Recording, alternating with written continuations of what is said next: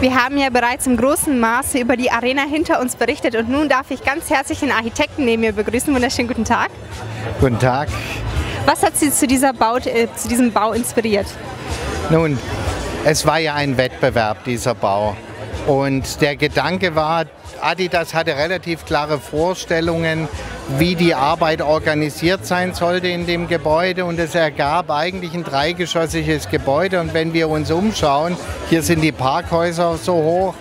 Und außerdem wollte man, dass das Gebäude zeichenhaft ist und aus der Entfernung wahrnehmbar ist. Also haben wir das Gebäude geplant wie gewünscht und haben es so hochgehoben, wie wir konnten und drunter dann die Landschaft geformt und das ist der Eingang zum Campus. Wir haben schon gemerkt, es ist ein sehr offener Bau. Also man hat Luft und Platz zum Atmen und zum kreativen Arbeiten. Hat man darauf explizit, äh, explizit Wert gelegt? Ja, das war der Auslober, also der Bauherr. Und Adidas hatte klare Vorstellungen, die sich dann im Planungsprozess verfeinert haben. Klare Vorstellungen, wie man das äh, organisieren sollte und weiterentwickeln sollte.